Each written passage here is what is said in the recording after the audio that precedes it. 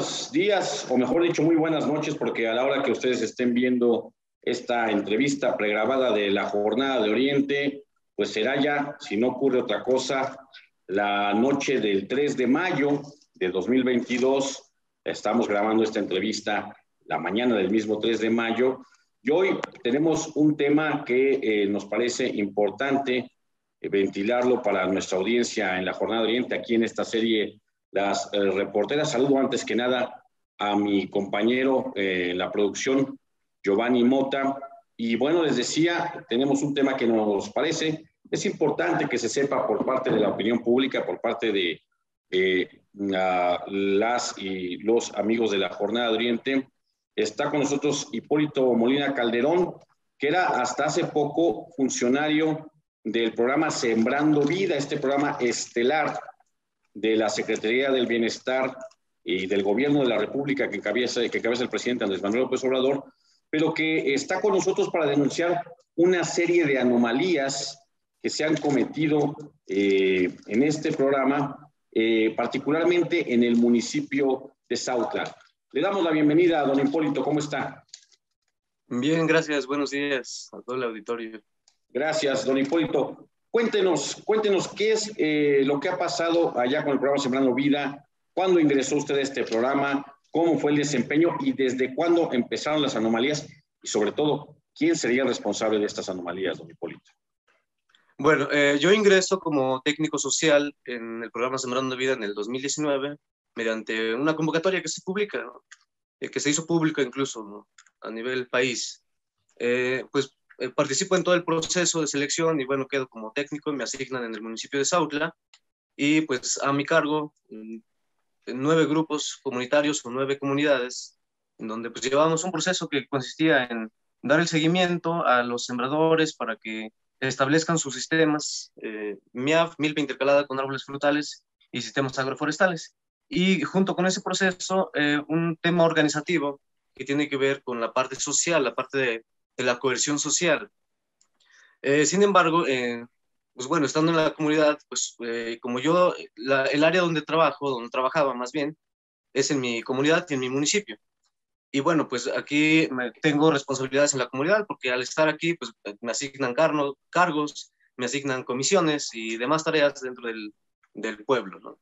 Y bueno, junto a ello, pues una responsabilidad a nivel de, de como ciudadano y también como técnico a nivel de, de las comunidades. Eh, bueno, el proceso pues todo iba muy bien con la gente, eh, sin ninguna dificultad.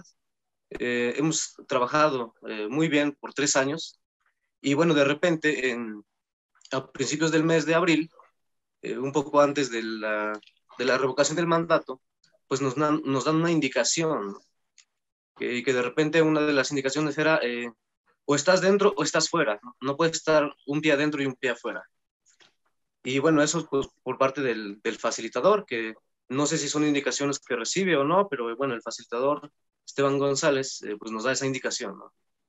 Posteriormente eso concluye, bueno, se, da todo el proceso de la revocación con una serie de, de, cuestiones que no sé si sea bueno eh, mostrarlos, que yo tengo evidencias incluso de lo que hicimos, lo que tuvimos que hacer en esa parte, que que incluso pues él mismo lo mencionaba, el facilitador lo mencionaba, es un, pues es un delito prácticamente hacerlo. Sin embargo, tuvimos que hacerlo. Eh, de, una manera pues obligados porque o estás o no estás, ¿no? Y pues cuando nos agarran así de repente como o le entras o te vas, eh, a mitad de mes o a principios de mes, pues no sabes qué decir, qué, qué, decisión tomar. Al final, eh, bueno, se dio todo el proceso y nos condicionaron, dijeron, depende de los resultados, dependerán sus vacaciones de Semana Santa. Si los resultados son buenos, tendrán una semana de vacaciones y si no son buenos, no habrá vacaciones. Eh, pues resulta que pues, los resultados al parecer fueron positivos, entonces tenemos una semana de vacaciones y después retomamos el trabajo en comunidad. Y bueno, al finalizar el mes, eh, pues me mandan a traer, incluso el, a media semana, o sea, el miércoles, me mandan a traer que eh, que por indicaciones de, pues, del personal de la Secretaría eh, o del programa Sembrando Vida, que me tengo que ausentar del municipio e ir a laborar en otro lugar.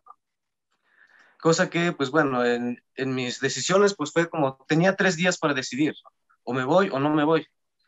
Eh, sin embargo, pues eh, a la gente con la que yo trabajaba, pues no me dieron tiempo ni de decirles, ¿saben qué? Ahí está esta cuestión, yo me ausento, yo me retiro, porque me mandaron a otro lugar. por lo que yo decido, decido renunciar, digo, creo que más bien era un despido sutil. Era, te vas a otro lado donde probablemente sea más complicado y bueno, incluso me mandaban a un lugar donde está un facilitador que, que tuvo una denuncia, igual en medios públicos. Eh, entonces, eh, me mandaban a esa zona con ese facilitador. Eh, yo decido renunciar y bueno, pues ahora es pues festejando el Día del Trabajo el primero de mayo sin empleo, ¿no? Y bueno, ese es en el caso particular mío, ¿no? Que decido renunciar. Pero hay otros compañeros que, pues que los, les dieron de baja así de la, de la nada. Solo les dijeron, eh, solo trabajas este mes, igual la media semana, les dicen solo trabajas este mes y el sábado tú te retiras del programa. ¿Por qué? Pues simplemente son indicaciones. Eh, y bueno, eh, dentro de eso, pues mencionar también que todo el proceso que hemos estado viviendo entonces, en el transcurso de estos tres años que estuve como técnico, pues fuera, era de, de acoso laboral, de hostigamiento, de siempre de estar sobre una exigencia de que o me lo entregas o me lo entregas, o, me lo entregas o, te vas, ¿no? O me lo entregas o renuncias. Y todo el tiempo era así. Eh, incluso en, en, algunas actividades, eh, cuando se trató de, de hacer las actividades que, tienen, que estuvieron relacionadas a la revocación del mandato, hicimos un plan, un plan de trabajo eh, falso, inventado. Nos dijeron, planeen como si ustedes fueran a trabajar normal, pero obviamente ustedes van a hacer lo que nosotros les indiquemos.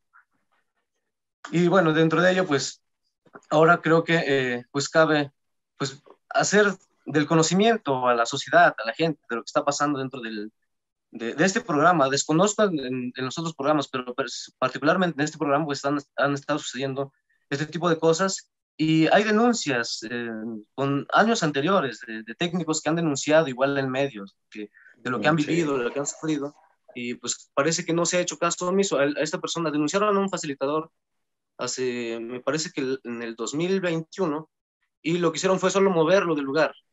Ahora lo mueven en otra zona y bueno, se desentiende de la zona donde estaba, pero está en otro lugar trabajando.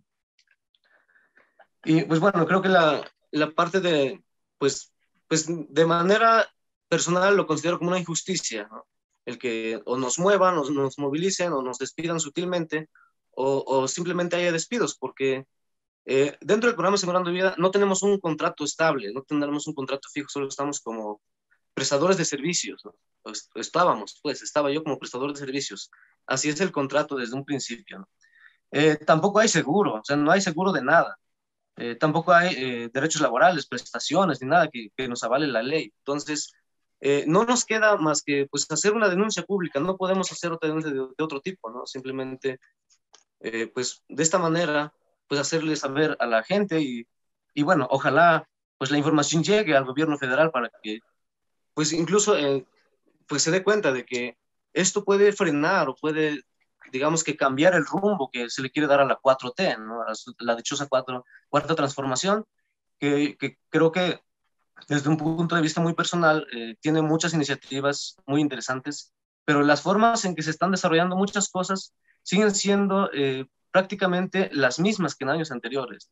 Hay presión a la gente, hay el uso de programas para, pues, como para presionar a hacer algo que, que la gente, aunque no esté dispuesta, no esté de acuerdo, lo tiene que hacer porque están siendo beneficiados de un programa, un programa federal.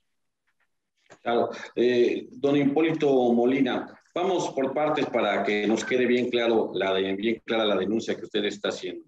Eh, Usted ingresa como un prestador de servicios, como un técnico que va asesorando a los sembradores en este programa de Sembrando Vida, en que entiendo es un programa que comienza con, digamos, trata de hacer una suerte de revolución en los terrenos agrícolas mediante el aprovechamiento de los terrenos que están destinados para siembra de productos ordinarios en el campo, como el maíz, que viene acompañado con la producción de árboles frutales y después, en un tiempo considerable, pasar al terreno también de los maderables, de los productos de madera. ¿Estoy, estoy en lo cierto? Sí, sí, claro, así es. Muy bien. Y eh, la tarea de usted era asesorar a estos sembradores que casi siempre son campesinos, propietarios de estas tierras, usted en la región de Sautla. ¿Tenía usted establecida alguna condicionante para, eh, digamos, trabajar un número determinado de horas eh, al día, a la semana, o usted se repartía? ¿Cómo se trabaja, eh, cómo trabaja, digamos, un asesor técnico como usted? Bueno, dentro del, programa y de la Secretaría, nuestra labor, desde un principio la indicación fue, ustedes trabajan las 24 horas del día y los 7 días de la semana. Tómenlo domingo como descanso por si hay posibilidad. Pero en realidad era como, a cualquier hora tendríamos que estar atentos. A la una de la mañana yo recibía llamadas para, para, para dictarle la CURP a mi facilitador. Cuando yo se lo enviaba con, en una hoja de Excel o en la CURP descargada desde el RENAPO, para que de ahí lo pudiera revisar, él me llamaba a la una de la mañana para decirme, oye, díctame la CURP porque necesito que vaya correcto. O sea, cosas así que realmente yo creo que ni siquiera eh, tendrían que suceder, pues, pero que como estábamos condicionados a eso, no podíamos dejar de contestar una llamada a la una de la mañana o a las doce de la noche o a las, a las horas que se les ocurra, ¿no? Eh, y bueno, la, pues, en realidad nosotros agendábamos actividades con los grupos y bueno, a la gente, pues eh, nosotros sí planeábamos como un horario específico porque sabemos que ellos tienen ocupaciones, tienen cargos en la comunidad, tienen que, en el caso de las, de las madres, eh, tienen que atender a los hijos para que se vayan a la escuela, entonces no podíamos citarlos eh, a la hora que sea, ¿no? Sino que poníamos un horario y bueno, todo lo demás lo tendríamos que respaldar nosotros. Si yo necesitaba una información a las 7 de la mañana de cierta persona, pues tenía que acudir a la comunidad. A esas horas o a las altas alturas de la noche me tocó ir a buscar a personas a las 9 de la noche, 10 de la noche, andar buscándolos en su casa para que me den alguna firma, algún documento. Así es como eh, se elabora. O hemos Digamos, estaban, de, tiempo completo y eso quedó claro. Me dice usted que por ser oriundo, por vivir en, en, este, en su comunidad, eh, usted también tenía algunos cargos allá en Sautla, cargos de autoridad. Sí, claro. ¿O de repente, qué cargos eran estos? Este, eh, bueno, dentro de, de, la comunidad, eh, eh, yo tengo asignado dos cargos comunitarios, uno que tiene que ver con el mantenimiento del agua potable de la comunidad, otro que tiene que ver con la parte del, de, de, organizar para el campo mortorio. Dentro de las comunidades el campo mortorio es, un, es una actividad que se tiene que hacer, ¿no? Entonces tenía esas comisiones, además de un proyecto que me ha sido encomendado dentro de la comunidad de gestionar y de, de coordinar. Entonces, eh, y bueno, entre otras actividades culturales que de manera personal, eh, pues bueno, son, son gustos personales que yo, que yo desarrollo, ¿no? Entonces, el, el, el, hecho de movilizarme hacia otra zona, que me queda como a dos horas de donde yo vivo, o sea, en viaje directo, eh, pues me implicaba tener que dejar todos esos proyectos ¿no? abandonados o, o, encargárselos a alguien, o bueno, o, decirle a la comunidad, ¿saben qué? Yo me desentiendo de estos cargos porque me tengo que ir a trabajar a otra zona, ¿no? ¿A dónde Pero, mandar? Eh, me querían mandar a eh, abajo de Teciutlán, del municipio de Teciutlán, no recuerdo el nombre, Jicotepec me parece se llama. Jicotepec. Sí. Ok. Y bueno, Jicotepec pues me queda eh, relativamente cerca, pero, pero la cuestión era que no dan tiempo ni de que decidas o planees tu traslado, simplemente te vas si quieres continuar. ¿no?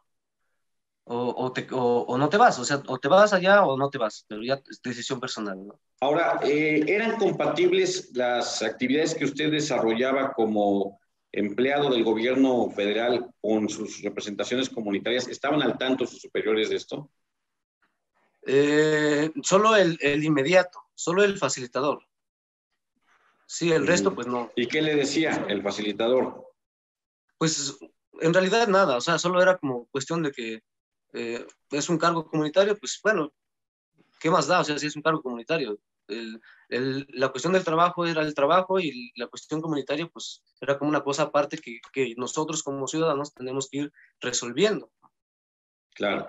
Ahora, eh, dice usted que previo a la, a la, consulta para la revocación de mandato, les pidieron eh, hacer algunas acciones que usted considera que no son las adecuadas, eh, las apropiadas dentro del programa o al menos para la función de su puesto. ¿Qué, qué actividades eran estas? Pues bueno, eh, dentro de las actividades, pues en realidad lo que pedían era que teníamos que ordenarle a la gente, o sea, ni siquiera invitarlos, era ordenarle que tenían que acudir a ejercer pues su apoyo a que el presidente Andrés Manuel López Obrador siga en la presidencia de la República, marcando con un color específico. ¿no? Nosotros nos dijeron, consigan colores verdes porque le tienen que dar a la gente que le marque en verde. Y bueno, nos dieron, eh, incluso a través de un WhatsApp, de un grupo que tenemos, nos dieron la información. Aquí está la información que es del INE, úsenlo para, para informar a la gente. Y, y bueno, también eh, nos dijeron, saquen una lista de quienes ya fueron y quienes no han ido. Y entonces tenemos que estar haciendo esa función que incluso ellos mismos reconocían que es un acto que no se podía hacer porque somos servidores públicos, pero que sin embargo, pues bueno, eh, eran indicaciones eh, supuestamente desde otras instancias del, del, programa Sembrando Vida, desde otras coordinaciones, y pues tenemos que hacerlo. Claro, ¿y eh, quién le daba esta indicación a usted? Ah, bueno, directamente a mí pues era el facilitador, que es Esteban González Hernández, que es, es, el que le corresponde coordinar la parte del municipio de Sautla y algunas comunidades del municipio de Ixtacamaxtitlán. Claro. Y después, eh, ¿qué pasó? Usted dice, bueno, pues se lograron los objetivos, pero de todas maneras hubo lo que usted eh, me entiendo, quiere decir, hubo represalias, pero ¿por qué las habría si al final se cumplió con todo? Eh, pues bueno, la, verdad es que los acuerdos los desconocemos, no sabemos en dónde se toman esos acuerdos, no sabemos en dónde se toman esas, decisiones. Eh, a, nosotros solo nos informa el facilitador, eh, pues son decisiones del, programa o de la Secretaría, pero en realidad no hay como argumentos, no hay ningún documento donde a mí me informen la razón o el motivo de, de la movilidad, del, que, del por qué me están moviendo de donde yo estoy laborando por tres años a otro lugar. Cuando ya usted conocía el terreno, conocía las personas que trabajan en, ahí en Sautla con usted, ¿no? Eso sí, claro, y el, el, el, proceso, el proceso que se ha llevado por tres años, eh, pues siempre había sido la, la dinámica de eh, acompañar el proceso, eh, formar parte de la comunidad de aprendizaje, que es lo que se ha hablado mucho, de la comunidad de aprendizaje que está conformado por, por sembradores, por compañeros y compañeros becarios y becarias y técnicos. Y entonces de repente, eh, pues solo dicen, bueno, te mueves a otro lado y pues ni, no hay ni, ni, razón ni argumento y tampoco no hay ni tiempo para decirle a la gente, bueno, me están moviendo por tal motivo o, tal razón. ¿Cuántos, ¿Cuántos sembradores tenía usted a su, a su cargo? Bueno, bien asesoraba a usted. Eh, yo, bueno, trabajamos en Vina y entonces como Vina asesorábamos a 200, pero yo personalmente pues llevaba la administración de 100 sembradores. 100 sembradores. Es bastante, desde 2019. Desde 2019, bueno, incluso antes del 2019, desde 2018, eh, a finales del 2018. ¿Y cómo, cómo, cómo podría usted calificar, cómo ve el proceso de estos 100 productores a los que usted tenía para asesorar? Pues dentro del proceso, eh, digamos, organizativo, eh, se han logrado muchas cosas, muchas cosas que incluso eh, el mismo programa lo reconoce y este facilitador nos mencionaba. Se ha visualizado que el programa Sembrando Vida es el programa mejor organizado para poder hacer una campaña política. Porque hay una organización que se ha logrado, eh, pues desde 2019 a la fecha, se han trabajado en talleres, en capacitaciones, en reuniones, en, intercambios de experiencias, en visitas a otras zonas, en, en apoyo solidario, incluso hemos tenido casos de personas fallecidas que la gente dice, bueno, vamos a, hacer un acto solidario apoyando a la familia o, eh, o apoyando a la persona que se queda como beneficiario que no pudo trabajar porque tuvo que atender a su familiar enfermo, vamos y lo apoyamos. Entonces, son cosas que se han ido logrando, que, que parecen pequeñas, pero en el ámbito organizativo, pues es, un, es una parte un poco complicada de, de poder medir, que aquí lo que nos, eh, es lo que nos han implementado mucho, la parte de la medición. Pero en, la, en el ámbito social es difícil poder de tener como un indicador, un, una medida de qué tanto hemos avanzado. Sin embargo, esos claro. logros, pues creo que son satisfactorios para tanto para la gente como para nosotros como técnicos. O sea, digamos que más allá de las propias bondades del programa eh, respecto a la producción, que ese es el fin primero, se ha logrado también una suerte de capacitación y en entramado de una red social de solidaridad en las comunidades en las que Sembrando Vida ha impactado. Claro, claro, esa es la iniciativa también, una de las, de las cosas que busca el programa, la, la cohesión social y fortalecer el, tejido social. Y bueno, de alguna manera se va logrando. Eh, cosas como el, por ejemplo, implementar procesos de, de autoahorro, donde la gente empieza como a tener la dinámica de ahorrar y poder generar préstamos entre ellos mismos para ir resolviendo necesidades económicas es algo que también se, se ha venido trabajando y, es un logro que a nivel de las nueve comunidades con las que yo trabajé, actualmente todos llevan un proceso de ahorro voluntario y bueno, una dinámica en un proceso que, que han aprendido a, en la parte de finanzas, ¿no? que yo creo que también es un tema que, que está muy debilitado en la sociedad. Claro, y la salida de usted, en el caso particular de usted, pero digamos como un ejemplo, pues rompería de alguna manera o al menos suspendería esta dinámica. De la... Sí, por lo menos el proceso, el proceso que llevábamos con los acuerdos, tenemos, o sea, eh, nosotros vamos agendando con la gente, nos vemos en 15 días para abordar tal punto, o nos vemos en un mes para abordar tal cosa. Y bueno, todo ese, todo ese proceso que se llevaba, el seguimiento, el acompañamiento, pues se rompe porque ahora eh, no solo es eh, adaptarse a una nueva persona que, que, llega en mi lugar, sino que también la incertidumbre que, que, actualmente los sembradores se les queda del por qué hay esta movilidad de personal. Y bueno, lo han manifestado, me dicen, ¿qué, qué podemos hacer? Y entonces digo, bueno, pues desde mi opinión, ustedes como sembradores podrían expresarlo igual. Pero así como tal que yo les diga, ¿qué pueden hacer? no creo que yo, yo tenga una solución porque pues si nosotros no podemos hacer nada como técnicos, pues como sembradores, creo que son mucho más invisibilizados. Oiga, ¿qué le dijo Esteban González Hernández cuando usted presentó su renuncia? Eh, pues me dijo que era una decisión personal, que él no me estaba corriendo, solo me estaba cambiando de lugar.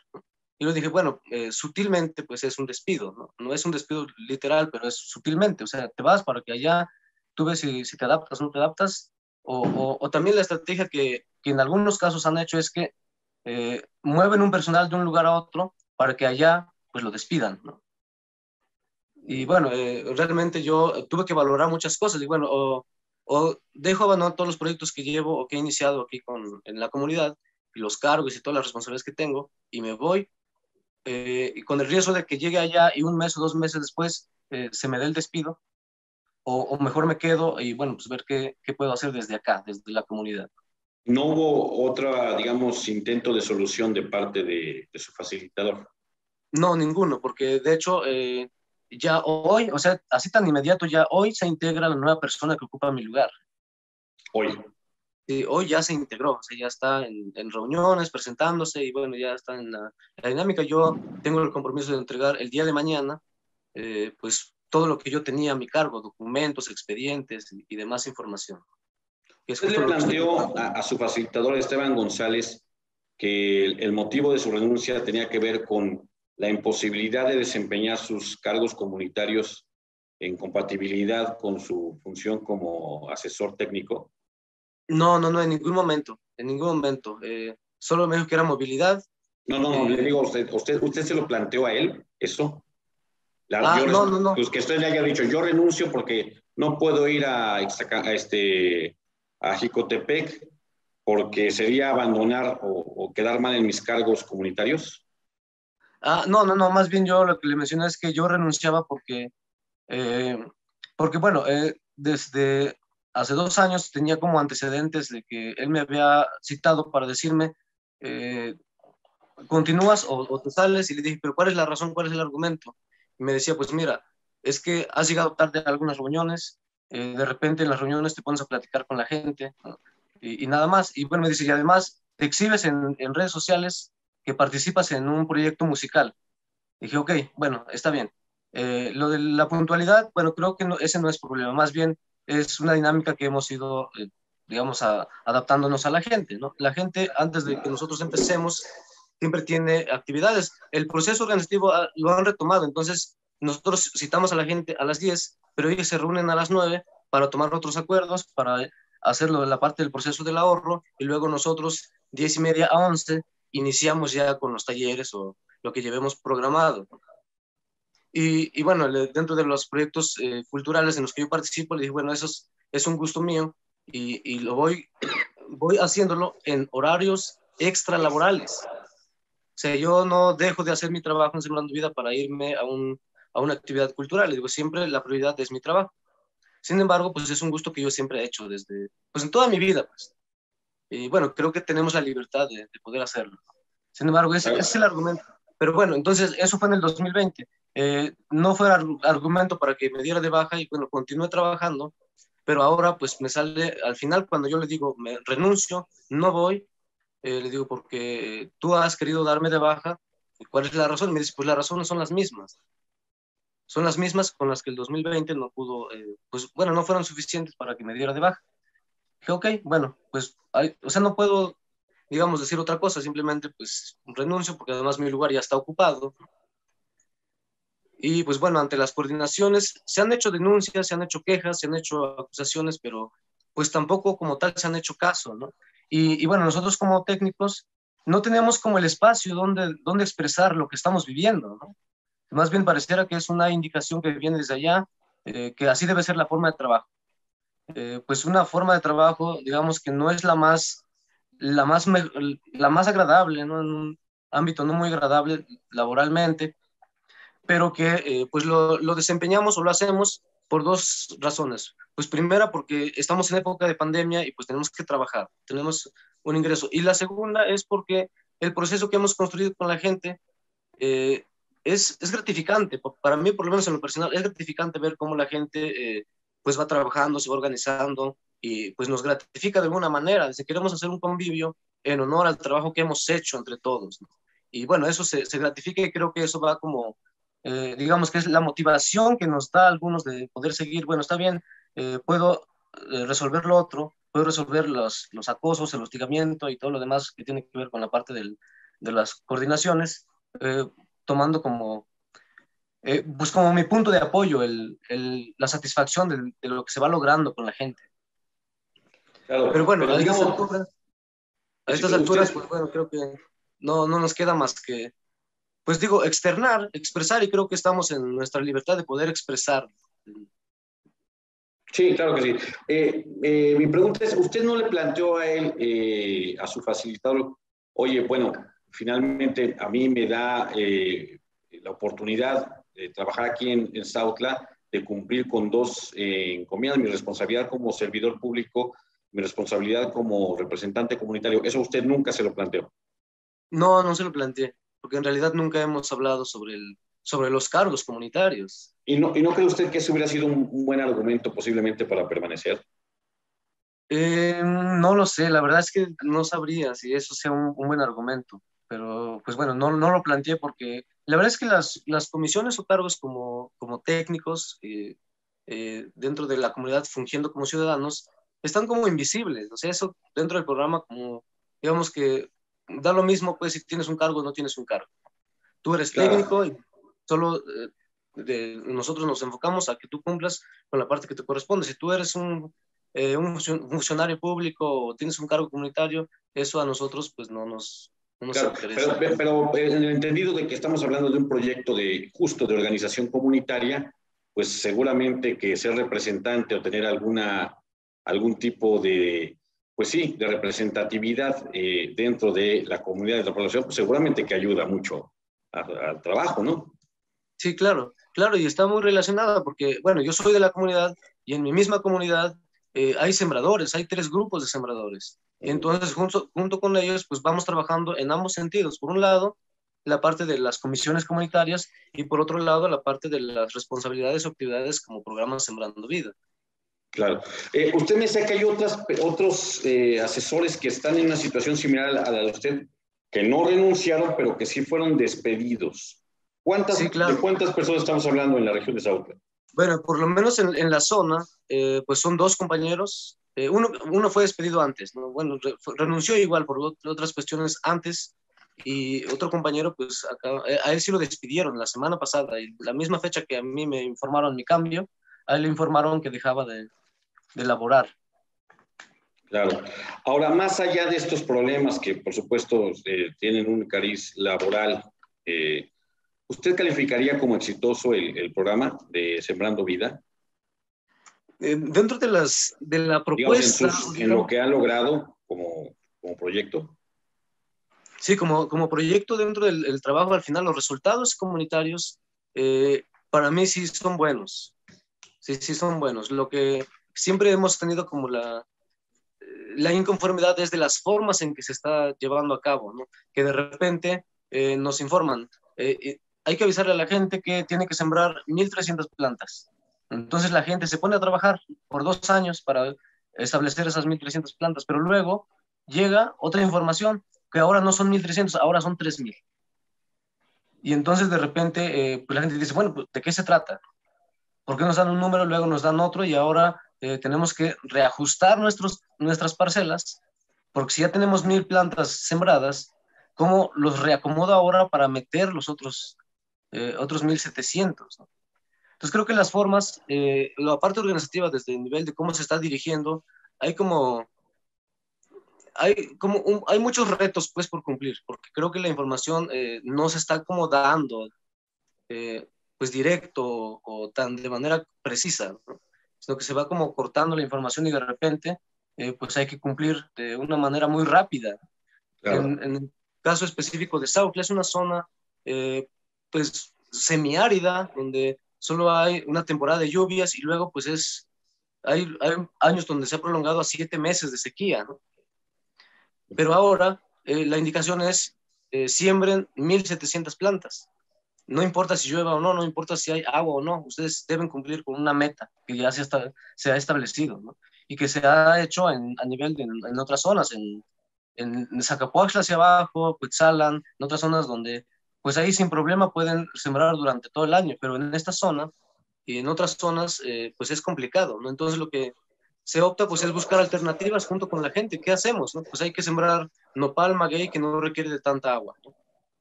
Y se está haciendo una, se está elaborando actualmente, está haciendo una sobresiembra de nopal que probablemente más adelante no se tenga como la capacidad de poder solventar ese, esa, esa producción, ese exceso de producción, porque, no, porque además los sembradores eh, no tienen conocimiento eh, sobre la producción de nopal. Están, están aprendiendo. Sí, están en un proceso de aprendizaje, pero en el próximo año va a haber una producción de nopal y entonces ahí va a haber un problema con, con la parte de la, la, sobreproducción que hacemos con tanto nopal.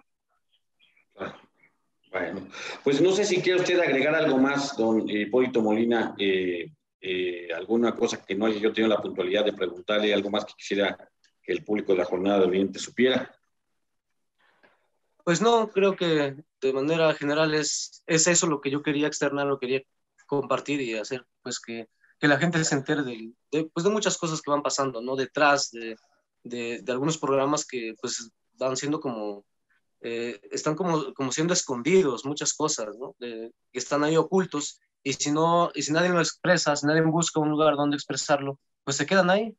O sea, y tal vez... la, la intervención del gobierno federal a más altas esferas para que se, se, vea esto, para que lo resuelva. Sí, claro, para que se visibilice qué es lo que está pasando, porque creo que dentro de la Secretaría del Bienestar, justo lo decía cuando María Luisa era la secretaria, lo que se busca es bienestar. Y el bienestar pues tiene que ver con muchas cosas, con la calidad de vida, con la alimentación, con las necesidades, con la educación y con un ámbito laboral pues agradable. Bueno, pero con ella funcionaban bien las cosas, ella es otro, otro tipo de persona. Sí, ahora eh, pues las cosas van cambiando y pues la indicación es que como ha habido cambios eh, y, y, bueno, supuestamente eh, nos informan que hay una persona que dirige actualmente el programa de una corriente política y por eso las cosas van a cambiar. Entonces creo claro. que eso pues tampoco es, es justo. Pues, Con María Luisa Albores funcionaba como tenía que funcionar la cosa. Sí. Y sí, ahora llegan, hay, hay llegan los nuevos y le dan un cariz ahí distinto, ¿no? Sí, sí, sí.